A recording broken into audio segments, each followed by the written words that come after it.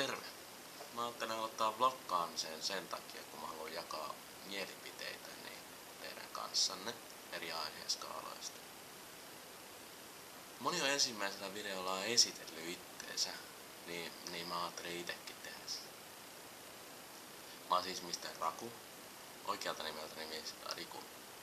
Raku-nimi tulee siitä, kun kaverin piti kirjoittaa mun oikea nimi, mut kirjoittikin Raku. Siitä on tullut sitten mun lempinimi siitä lähtien. Jotkut sanoo sillä nimellä, jotkut ihan omalla nimellä.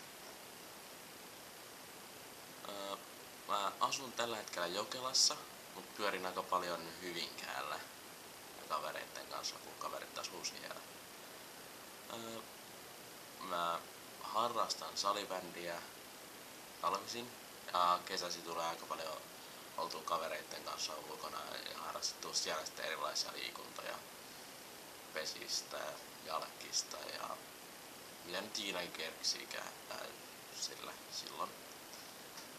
Ja tota,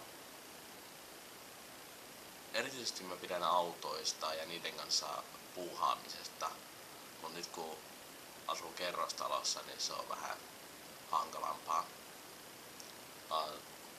kun ei ole mitään tilaa, missä tehdä.